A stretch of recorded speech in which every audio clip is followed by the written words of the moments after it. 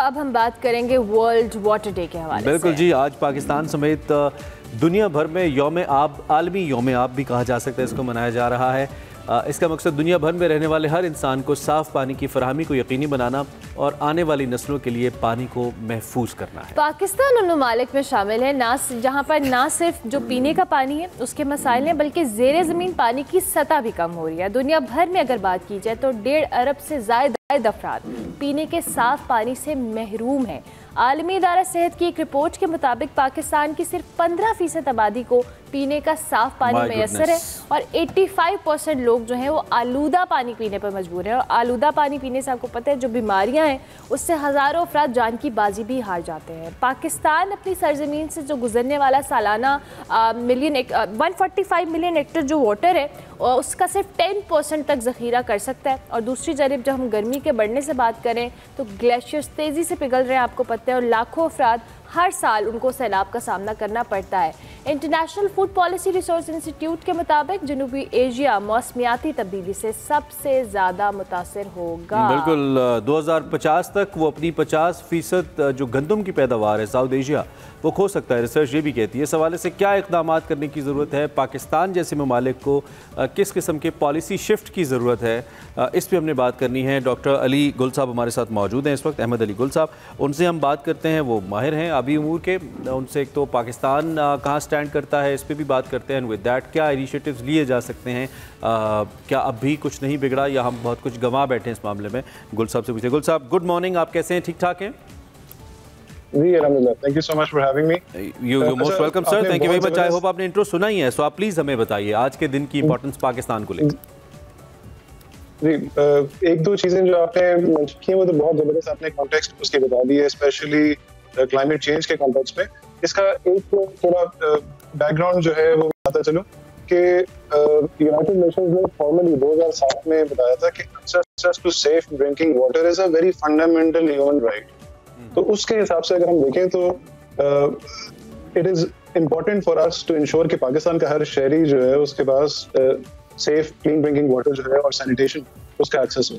So it it it really emphasises कि हमें अभी बहुत कुछ करने की ज़रूरत है।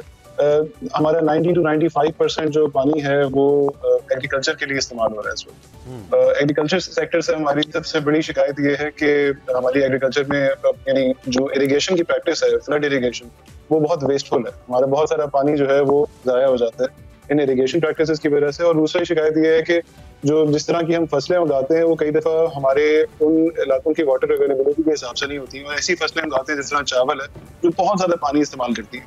तो हमें अपनी जो वाटर स्ट्रेस जितना हमारा इंक्रीज होता जा रहा है और हमें पता है कि फ्यूचर में मजीद खराब होता जाएगा, उसके हिसाब से एग्रीकल्चर सेक्टर के अंदर काफ़ी चेंजेस लाने की ज़रूरत है। और इरीगेशन ऑफ़ कोर्स चेंज करने की ज़रूरत है। और जिस तरह अभी आपने कि हमारे जो शहर हैं, जो हमारे अर्बन एरियाज़ हैं खास तौर पे ग्राउंड वाटर का इस्तेमाल बहुत ज़्यादा है।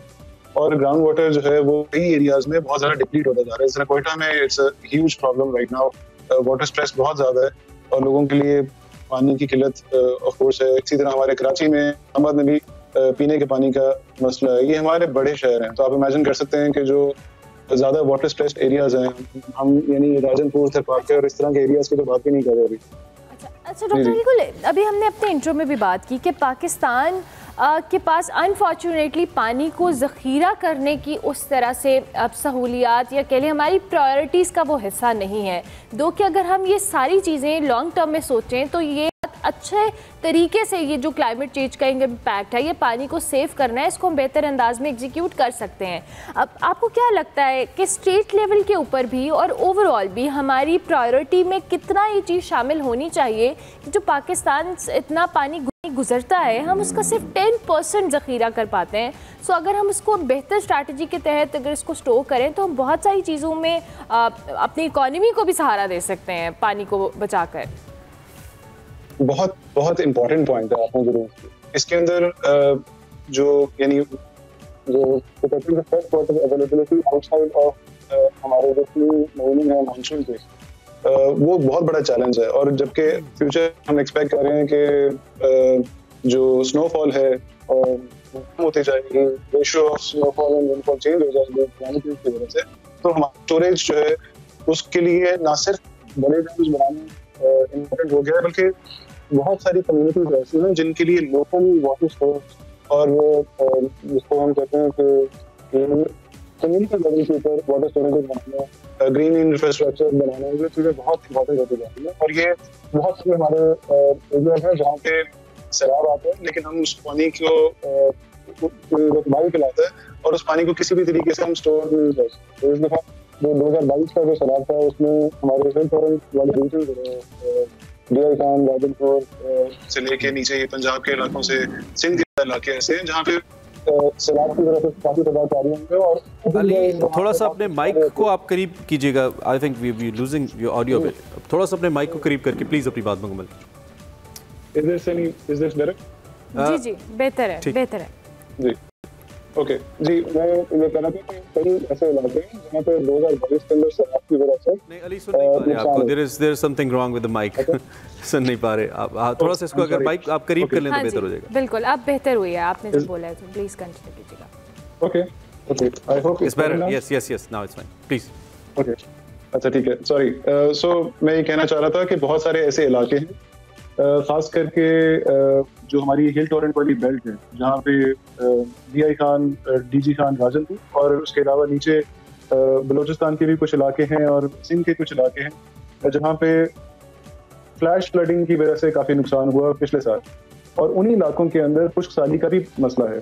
सो अगर हम वहाँ पे लोकल लेवल के ऊपर स्टोरेजेस बनाएँ, छोटे डैम्स बनाएँ तो वहाँ पे काफ़ी वाटर अवेलेबिलिटी से रिलेटेड इश्यूज़ जो है, वो सॉल्व हो सकते हैं। अच्छा अली एक एक बड़ा फंडामेंटल प्रॉब्लम है। हमने अभी पॉलिसी भी बनाई और हम, हम हमें अपनी वनरेबिलिटीज़ का भी अंदाज़ा है। हमें इसकी स्ट्रेटजिक जो इम्पोर्टेंस है इसका भी अंदाज़ा है कि पानी स्ट्रेटिजिकली हमारी इस वक्त क्या पोजीशन है। You know better than me और पिछले दिनों में तो इंडस वाटर ट्रीटी के हवाले से भी सुन रहे थे कि India is about to violate it and somehow they do हमें पता है कि वो किस तरीके से मैनिपुलेट हो रही है। uh, इसको लेकर I think we need a whole policy shift अब प्रॉब्लम यहाँ पे ये कि पॉलिसीज़ तो हम बना लेते हैं। आई ऑलवेज से इम्प्लीमेंटेशन नहीं होती है। इम्प्लीमेंट नहीं कर पाते। सम समाव हमें अपने हालात इजाज़त नहीं देते हमें अपनी स्ट्रेटिजिक जो सिचुएशन है वो इजाज़त नहीं देती। प्रायोरिटीज़ भी समाव नहीं है बिल्कुल ठीक है। इस पर क्या कहेंगे आप? How to how to proceed in this particular situation अगर इस सिचुएशन के अंदर जो इंडिया के साथ हमारे इंडस वाटर ट्रीटी के इश्यूज़ हैं इनको तो बहुत सीरियसली टेकअप करने की ज़रूरत है क्योंकि क्रॉस बेसिन डाइवर्जन जो जिस तरह वो कर रहे हैं वो काफ़ी काफ़ी एक तरह से बड़ी बड़ा इशू है पाकिस्तान के लिए। और उसको जस्टिफाई इस तरह नहीं किया जा सकता। और दूसरा इम्प्लीमेंटेशन आप सही कह रहे हैं one of the biggest thing जो हम देख रहे हैं एक तो हमने पाकिस्तान के अंदर पानी को एक फ्री अनलिमिटेड इन्फानाइट सोर्स के तौर पे ट्रीट किया हुआ है। बिल्कुल। वो एक बहुत बड़ी ज्यादती है क्योंकि ये एक बहुत वैल्यूबल और फाइनाइट सोर्स है। खासतौर पे फ्रेश वाटर एक बहुत वैल्यूबल फाइनाइट रिसोर्स है। और जिस तरह हम ग्राउंड वाटर की बात करें ग्राउंड वाटर एक तरह से हमारा सेविंग्स अकाउंट है। हम उसमें से सेविंग्स अकाउंट में से विदड्रॉ तो कर रहे हैं लेकिन उसको हम रिचार्ज नहीं कर सकते। तो that's really important way to look at water as a very valuable resource और ना सिर्फ़ आजकल की जनरेशन uh, के लिए ये हमारा हमारी फ्यूचर की जनरेशन का भी हक है उसी पानी के ऊपर जिसको हम बेदरे का इस्तेमाल करें जो जो जो इंटरनेशनल कम्युनिटी है क्योंकि हम अक्सर कहते हैं कि पाकिस्तान क्लाइमेट चेंज के अंदर कंट्रीब्यूटर इतना बड़ा नहीं है बट पाकिस्तान ने नुकसान बड़ा उठाया है। आ, क्या इंटरनेशनल कम्युनिटी पाकिस्तान जैसे ममालिक को किस तरीके से हेल्प कर सकती है या हम उनकी एक्सपर्टीज से कैसे फ़ायदा उठा सकते हैं सूरत हाल में?